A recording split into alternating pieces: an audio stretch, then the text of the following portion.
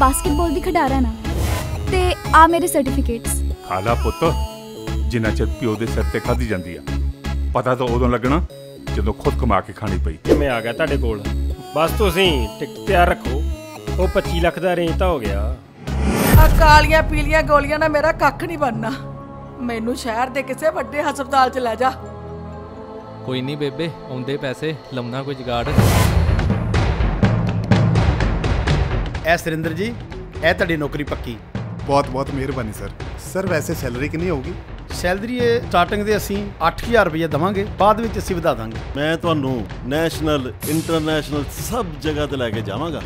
Sir ਜੀ ਮੈਂ ਤੁਹਾਡਾ ਆਸਾਨ ਕਦੇ ਨਹੀਂ ਭੁੱਲੂੰਗੀ। ਪਰ ਤੁਹਾਨੂੰ ਕਈ ਜਗ੍ਹਾ ਤੇ ਕੰਪਰੋਮਾਈਜ਼ ਕਰਨਾ ਪਏਗਾ। ਪੈਸੇ ਦਾ ਪ੍ਰਬੰਧ ਤਾਂ ਹੋ ਜਾਏਗਾ ਪੁੱਤਰ ਪਰ ਮੇਰੀ ਇੱਕ ਗੱਲ ਦਾ ਖਿਆਲ ਰੱਖੀ ਕਿਤੇ ਪੈਸੇ ਖਰਾਬ ਨਾ ਕਰ ਲਈ। ਪਤਾ ਨਹੀਂ ਸਰਕਾਰ ਕਦੋਂ ਸਮਝੂਗੀ ਕਿ ਸਾਨੂੰ ਫ੍ਰੀ ਚ ਸਕੀਮਾਂ ਨਹੀਂ ਚਾਹੀਦੀਆਂ। ਯਾਰ ਸਾਨੂੰ ਰੋਜ਼ਗਾਰ ਚਾਹੀਦਾ ਹੈ। ਚਲੋ ਛੱਡੋ ਯਾਰ ਆਪਾਂ ਬੇਬੇ ਨਾਲ ਬਾਬੇ ਦੇ ਡੇਰੇ ਚੱਲਦੇ। ਸ਼ਾਇਦ ਉੱਥੇ ਕੋਈ ਹੱਲ ਲੱਭ ਜੇ ਕਿਹੜਾ ਬਾਬੇ ਦਾ ਡੇਰਾ? ਬਾਬਾ ਸਭ ਨੂੰ ਦੇਵੇ।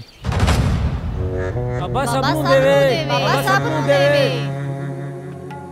ਵੇਖੋ ਭਾਈ ਹਰ ਇਨਸਾਨ ਨੂੰ ਆਪਣੇ ਮਨ ਤੇ ਕਾਬੂ ਪਾਉਣਾ ਚਾਹੀਦਾ। ਇਹ ਆਪਣੇ ਮਨ ਤੇ ਜਿੱਤ ਹੁੰਦੀ ਹੈ।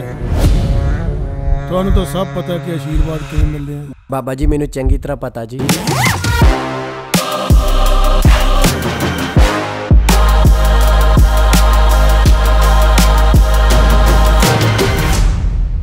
ਇਸ ਹਿਸਾਬ ਨਾਲ ਤੇ ਬਾਬਾ ਜੀ ਪੂਰੇ ਪੰਜਾਬ 'ਚ ਆਪਣੇ ਡੇਰੇ ਹੋਣਗੇ। ਰਿਆ ਨਾ ਭੋਲੇ ਦਾ ਭੋਲਾ। ਪੂਰੇ ਪੰਜਾਬ 'ਚ ਨਹੀਂ ਪੂਰੇ ਮੁਲਕ 'ਚ।